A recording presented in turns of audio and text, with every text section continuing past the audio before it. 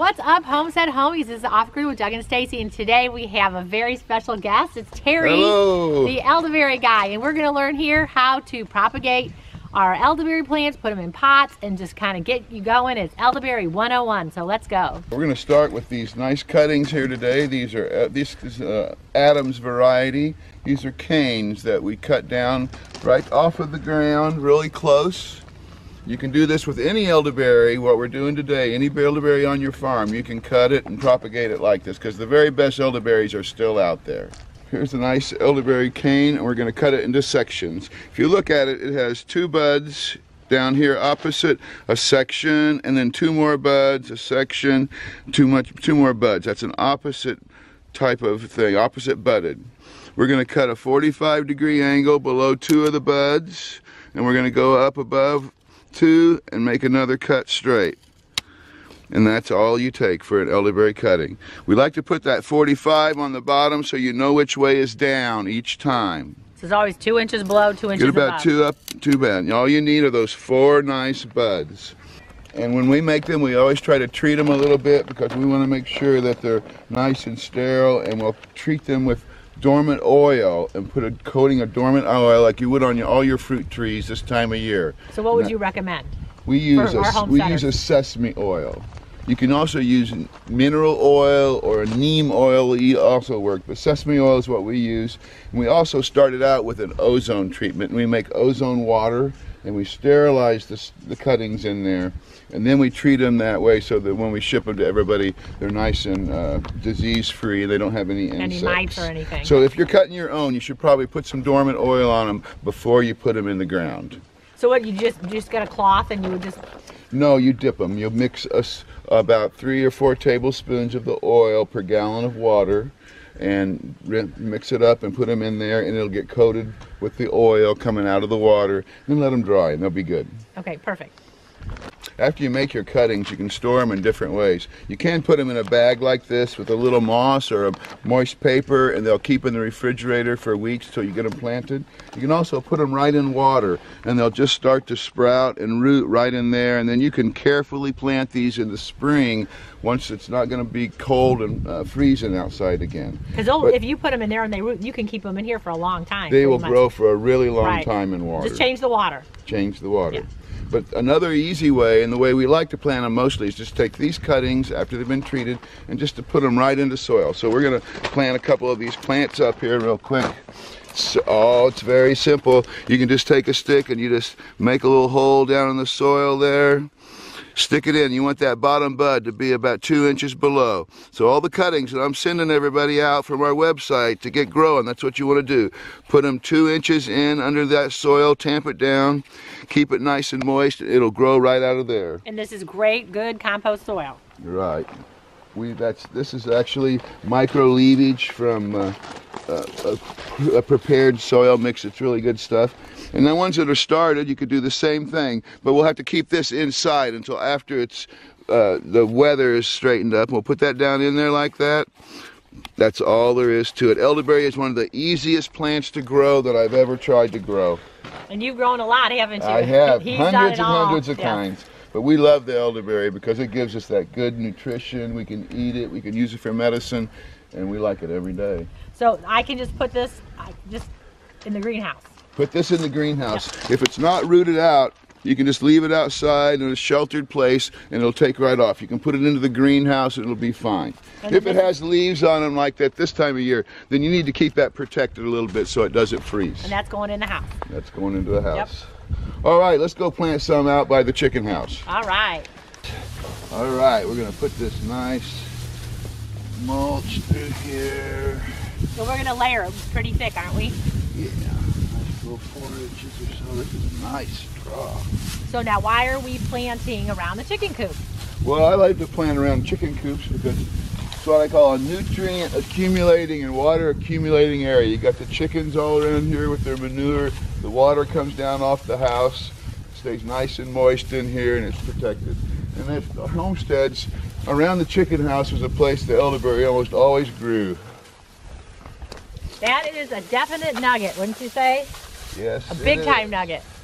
Yeah, because I could. I always wanted to do something around here, and I could never figure out what it was. And the elderberries grow pretty quickly, so it's going to get It's big gonna enough. grow up to the top of there and it'll be all shady here for the chickens. They'll be able to keep it cleaned out once they get started. We'll have to put a little fence around it for a little while, but Right. it'll all Chicken come wire. together. Oh, perfect. So we're gonna take this this old uh, concrete form thing and we're gonna make holes in the ground, use it for a dibble. We're gonna keep it about 18 inches from the building so we don't crowd it too much. Once you grab the cuttings over there, Stacy, and you can put them in the holes. I'm just gonna stick this down in there, work it around a little bit, So it's the same principle where you're going down a couple inches, but like always remember to put the points down and take it all, just put it all the way down to the bottom. That's all it takes. And we'll step around it a little bit, And make sure how, it's in there. how far apart are they going to be? And we're going to put them about two foot apart.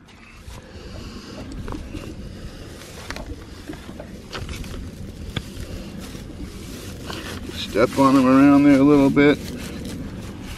Get a little moisture on there and it'll all come in.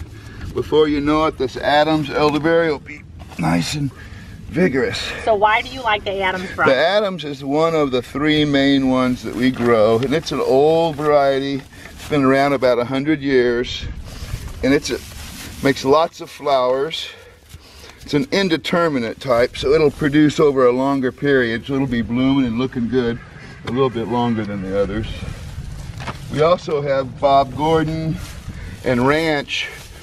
We sell those. They they bloom mostly at the same and all at the same time so we can harvest them just a couple times and we have the whole thing. So we're putting those in, keeping those one buds above, a little moisture on that, it'll fill all in around it.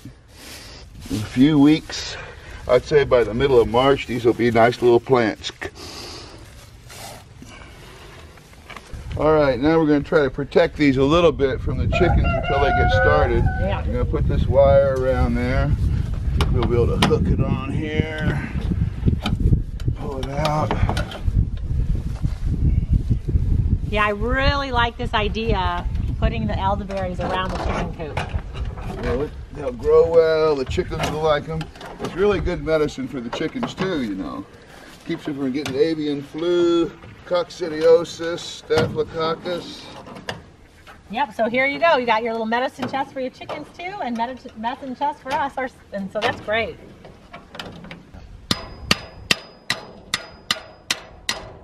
You're a braver man than I.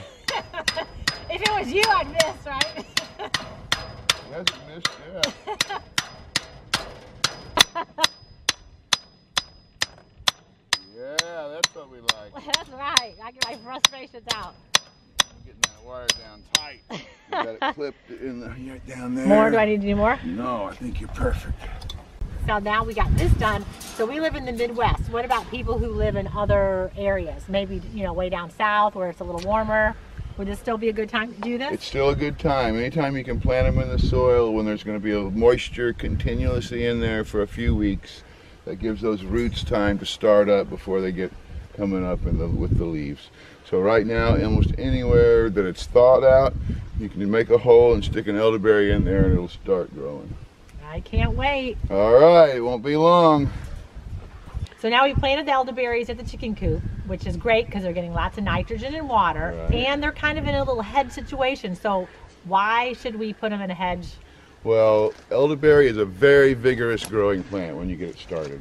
And if you put it in your really good garden soil, it's going to want to be all over your garden. You have to really work to keep it contained. But in a hedgerow, it's much easier to keep it in there and you can plant other things with it. It likes a whole little guild of plants to grow with it, other kinds of herbs that you can grow for your health. The com- And you make them all planting. companion planting them in there, and then you'll have a whole row, a hedgerow for medicine right there. So what would you suggest? That if you were doing a row, maybe on a fence line or against a building, what would be good to put with those? Well, any of the any of the any of the perennial herbs that'll keep coming up in there. But I also like other fruits in there. Also, I like to put black raspberries, or in a larger one, you can put some nut trees or some filberts, some pawpaws, maybe some persimmons. They're all things that like to kind of grow in the same communities, and we can eat all those, and they'll come up and be beautiful all together. And you can just manage it and let it grow your medicine right there in the hedgerow. And that's what we're all about here. All right, well, I look forward to seeing those in a few months when they start blooming. They'll probably be up about waist high and blooms on them by July. Check them on Instagram. Right. They'll be there. We'll look for them. So if anybody needs any cuttings, we are making cuttings of the new types and selections right now, and they can order them online from River Hills Harvest from our online site there. And there's three we really like are the Ranch, the Bob Gordon, and the Adams. And today we planted the Adams. The website has all kinds of great information. It's brand new. We just started a new one this month, and uh, we're excited about it. We think it looks really good. And before we go today, I wanted to ask you, okay, if, if there's someone who doesn't know anything about elderberries, or some people who do know something about elderberries, what are some just things that you could tell us about elderberries? Well, you know, elderberries has been used for medicine for thousands of years, and Hippocrates was one of the first real lovers of elderberry, and he wrote an entire book on elderberry, and he thought he could heal any part of your body with some part of the elder. So it has a long tradition. But one of the things that's nice about the American elderberry, we have two more antioxidants in it than we have in the European type elderberry that most people use for medicine in this country. Sure. So you want to look for that American elderberry in particular because you get those extra antioxidants in there, and it's our domestic plant instead of something from overseas. And was it you were telling me earlier about the ones from um, uh, Europe that as you when you bottle them for the juice, they they, They turn, brown. as That's why opposed you staying can't find pure elderberry juice hardly any other place. Because the European stuff doesn't make a good juice the way it is unless it's processed and condensed and stuff. It has to be stabilized. Whereas the American, what we produce is pure elderberry juice. You can get it in those bottles. It's low heat processed. And it's the best stuff for the health for your health that you can get. Perfect. Every time we visit, I learn so much about elderberries. So thank you, thank you, thank you. But if you guys want to learn more about elderberries, we did a great video with Terry. The link is right there over his left shoulder, and check it out because it is great. He talks so much and everything you want to know about elderberries. So check that video out if you have not watched it. Other than that, check us out on Facebook, Instagram, and Twitter. Get those elderberries in or get those cuttings from Terry. But uh, we'll see you guys later. Thanks Well, thanks a lot for having me here at the homestead. It's beautiful here. Keep growing. Yeah, keep those elderberries growing. Hey guys, thanks for watching our video. You might want to check out these videos. And if you want to become a homestead homie, click the picture of us below. We, We will see you tomorrow.